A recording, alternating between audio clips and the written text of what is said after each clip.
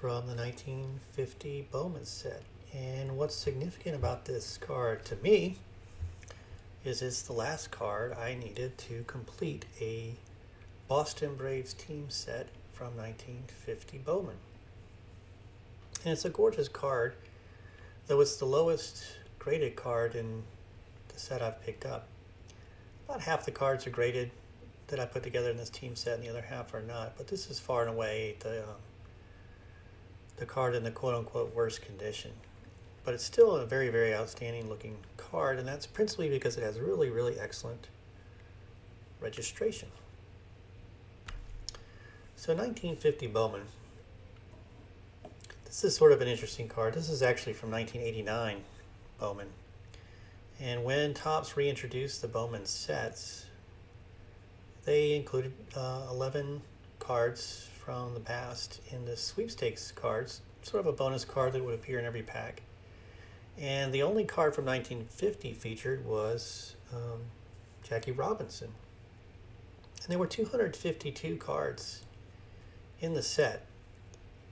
And the cards themselves were actually only 2 and 1 16th inch by 2.5 inches.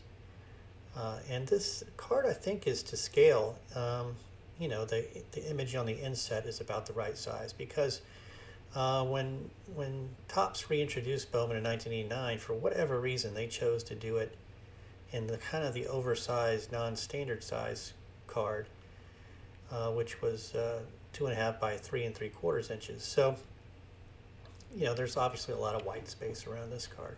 But the cards themselves are actually quite small, but they're very beautiful. And uh, I think this is kind of a nice slide to kind of illustrate the difference, the significance of the 1950 set, because the previous set in 1949, though it was of comparable size, was not of the same quality. The cards in 1949 were tinted photos that had colored backgrounds, and uh, uh, the new cards, however, were um, hand painted photo reproductions. So they took uh, realistic photos and uh, did an artistic rendering on top of them. And uh, so they're very, very artful. Um, what's significant about this slide is uh, the 1950 season began by changing, making some significant changes in the roster, and specifically Eddie Stanky and Alvin Dark were traded to the New York Giants for uh, Sid Gordon, uh, Buddy Kerr, and Willard Marshall, as well as uh, Red Webb, who uh, who uh, wasn't featured in the 1950 Bowman set. As a matter of fact, would never pitch another game in the major leagues, though he had a very limited career for the New York Giants. But this kind of illustrates the difference between the 1949 and 50 sets. Uh, they were very comparable in size. There were 240 cards in the 1949 set, and there were 252 in the 1950 set. And what's also kind of interesting about the uh, the 1950 Bowman set is it was uh, identical to the 1950 Bowman football set. And I only have one card from that set, the football set, and that's this card of uh, Charlie Trippi. And of course, I collect Charlie Trippi because he was a uh, he was a back for the um, University of Georgia as well. As a matter of fact, he was uh, second in the Heisman balloting uh, one year, and he played with uh, Frank Sinkwich, who did win the Heisman Trophy one season and was part of a national championship team, consensus national championship team in the early 40s, as well as a um, another championship team that um, played in the Rose Bowl. So a very, very significant player, a Hall of Famer. And what's sort of cool about this 1950 Bowman card of Charlie Trippi is uh, the color reproduction here was made from uh, a photograph of him in college. And uh, of course, UGA had red jerseys just as uh, the Chicago Cardinals did, so it wasn't that much of a reach to do this. Um, but it's a really, really um, gorgeous set, and uh, it's. Uh, I think it would be very interesting to, to collect both the baseball and the football sets. They're both very, very, very beautiful. All right, so this is kind of a spoiler slide. This is the entire team set of the Boston Braves as I picked them up. They would only be in Boston for um, the 50, 51, and 52 seasons. And in 53, they would move to Milwaukee, and in 1966, they would move to Atlanta. And uh, it was a good team. Uh, they were middle of the road. They were an average team. They went to 83 and 71. They finished fourth in the National League. And you, you have to remember in um, 1950, there were only 16 teams in Major League Baseball. There were eight teams in each league. And uh, the pennant winner would play the other pennant winner for the World Series, and that was it. That really wasn't much to the playoffs, unless there was a tie uh, for one of the league pennants, in which case they would have a three-game playoff. And that actually happened the following year, in 1951, and uh, that trade that we talked about earlier, which was wide, uh, widely considered at the time to be very, very favorable to the Braves actually, in retrospect, was probably a better trade for the Giants because those two players Eddie Stanky and uh, Alvin Dark played a major contributing role to the New York Giants, making that uh, remarkable comeback in the National League pennant and ultimately tying and then uh, defeating the Brooklyn Dodgers in a, a three game series with the uh, culminating shot being uh, Bobby Thomson's shot heard around the wor- world, who ironically would be traded to the Braves shortly thereafter. But uh, in any event, this is the team as it was comprised. Um, at least in the 1950 Bowman set. There wasn't a Topps set yet. Topps would come out in 51 was sort of a game set. In 52, kind of the first authentically um, real baseball set. But uh, there's some interesting quirks to this set. There are 15 cards, and three of them are rookie cards. Uh, the most significant rookie card being Sam the Jet Jethroe, uh, and it's actually the first season that uh, Boston, the Braves, featured an integrated team. And uh, Sam Jethroe was the one who uh, broke that barrier. Uh, Johnny Antonelli, who you see on the left, he was a bonus baby pitcher, and I think he signed a bonus in the neighborhood of $45,000, which I think was the, the largest bonus contract uh, in Major League Baseball history at the time. Uh, he played a very, very limited role uh, originally uh, for Boston and later would become an all star for the, um, the Giants. In fact, what's kind of interesting about Antonelli is he, he moved with Boston to Milwaukee uh, as a Brave, and then having been traded to the New York Giants, he moved from the Giants uh, in New York to San Francisco too. So he kind of made both turns. Um, the last rookie is Del Crandall, who uh, who played a lot of significant time uh, during this season. He wasn't the starting catcher most of the season. That was um, uh, Walker Cooper. And as a matter of fact, these are your starters. Um, I've highlighted Warren Spahn because he was sort of the ace on the team if I had to choose a, uh, a pitcher for a starter. And uh, the only starter missing from the 50 Bowman set is Roy Hartsfield, the second baseman. But the rest of these players uh, were your starters. Uh, and uh, these are your pitchers. Um, the primary pitchers were um, Warren Spahn and Vern Bickford, who you see uh, featured on the top row. And the other two most significant pitchers were Johnny Sain and Max Surkont, and neither of them appear in the 1950 Bowman set. They do appear in, in later sets. Sid Gordon was probably your uh, MVP. He had a 6.3 WAR this season.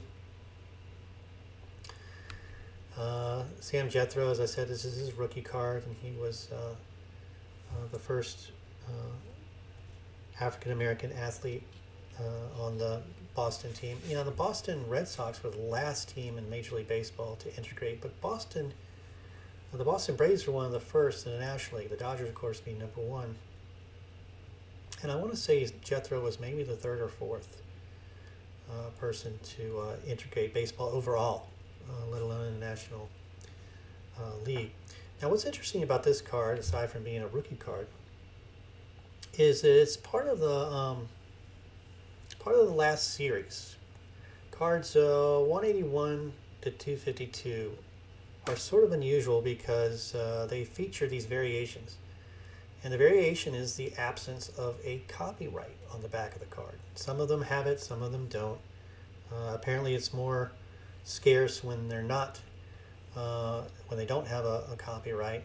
Uh, but there doesn't seem to be, people don't seem to pay a premium either way.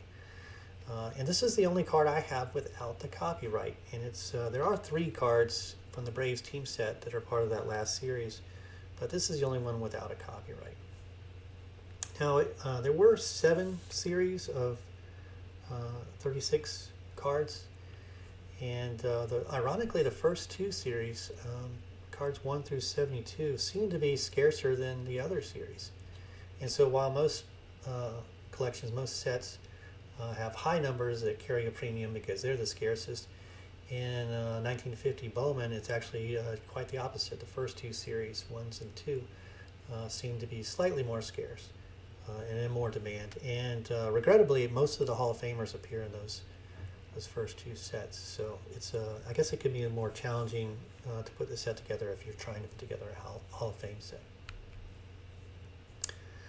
Uh, this is Bob Elliott. He was also a very valuable um, player on the team. He was uh, uh, the fourth most quote unquote valuable player to the team, earning 4.6 WAR during this season. And uh, this is one of the cards that's uh, graded, obviously. Uh, I have two cards that are SGC cards, and I have, I guess, five others that are PSA. And they span the whole genre of, of PSA cards. this is one of the older uh, slabs, and it seems to be accurately graded. We'll look at another card that has a 7, and maybe it probably wouldn't be a 7 at PSA if you were submit, to submit it uh, and get it graded uh, these days. But uh, this is Buddy Kerr. This is one of the players that was traded, and this was one of the first seasons. And uh, this card was real challenge to get uh, with excellent registration. A lot of them were, were very, very blurry. And this one looks really, really good uh, even blown up at this uh, at this size. Of course, here's Dale Crandall, and this is one of my favorites. This um, they actually recycle this imagery in the 1951 card as well. The 51 cards are very, very similar to the 1950 Bowman cards. The set is a little larger. There are 324 cards in that set, but the cards are also a little larger. And uh, this, uh, they feature like a, um, well, many of them feature a, a banner um, with the um, with the player name on it as well. So anyway, they, they recycle this image, and I'm glad they did because I kind of like it. It's got the old school equipment, uh, but they did remove the face mask just so you can get a better picture of Crandall. Uh, Vernon Bickford, as I said, he was the second most valuable pitcher on the team, which is somewhat of a surprise because uh, Johnny Sain and Spahn were kind of the studs uh, on the 48 team that reached the World Series. Uh, but Bickford had a very significant uh, um, successful career in the beginning in Boston. And I guess there you can see uh, an example of the copyright that appears at the bottom if you didn't uh, notice uh, before.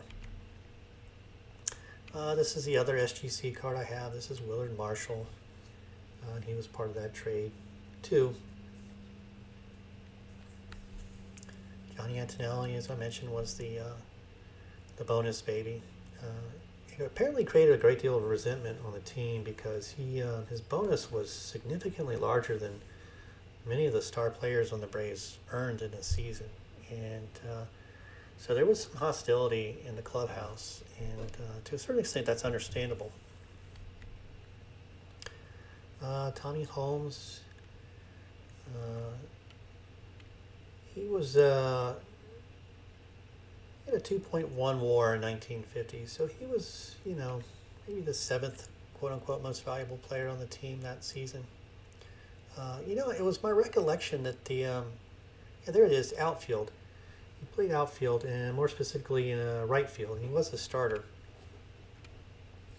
Uh, I was a little surprised to see that um, the cards didn't feature right field, left field center field. They just uh, called out outfield, and that was all there was to it. So I had to look up afterwards in baseball reference um, who played where. And as it turns out, Sid Gordon was in left field. Uh, the Jet, Sam Jethroe, was in center field, and Holmes was the primary starter in right field. This is Walker Cooper. he played most of the he started most of the games as the catcher, but there was a lot of time divided with uh, Del Crandall, and Del Crandall would become the, the catcher of the future for the Braves. This is Earl Torgeson. I've mentioned before that it was very unusual in that era for someone to play with glasses on, but he did. And uh, he was the second most valuable player on the team. He had a 5.9 war. Uh, this is Sibby Sisti. This is a uh, modern PSA slab. And this card's in uh, super good shape. Uh, Bob Chipman was one of the pitchers on the on the team. I think his role was primarily in a uh, relief pitching capacity. Uh, Pete Reiser, sometimes Harold Reiser, usually Pete on cards. And he was in the outfield, and he played uh, he played a mix of left and right and center to fill in for players, principally left and right. Is my recollection, though my notes don't explicitly say that. So there you have it, the 1950 Bowman Boston Braves team set. It was a challenge to put this together. It took um,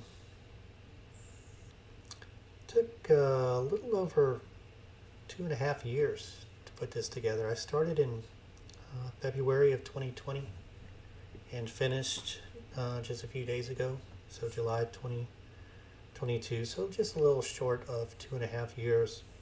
I was patient because uh, as I said, I wanted cards with excellent registration, even if they didn't have necessarily a quote unquote uh, excellent grade to them.